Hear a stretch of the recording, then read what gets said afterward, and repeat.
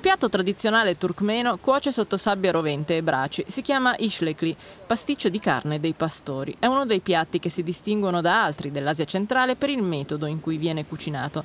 Nell'antichità i turkmeni impararono a sfruttare le condizioni meteorologiche avverse in cui vivevano per preparare il cibo e così per cucinare l'ishlekli non c'è bisogno di pentole, solo di sole e sabbia. I turkmeni erano nomadi, non potevano portare piatti con loro, allora cucinavano questo pasticcio nel deserto e usavano solo vassoi, coltelli, carne e farina. Uno stile di vita nomade e temperature che in estate raggiungevano i 40-50 gradi centigradi non potevano non avere un effetto sulla cucina turkmena. Si trasportavano solo ingredienti in grado di resistere a un lungo viaggio senza deteriorarsi.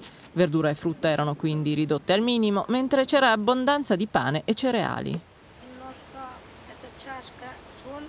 I nostri antenati cucinavano soprattutto carne e pane, ma usavano solo impasti non lievitati.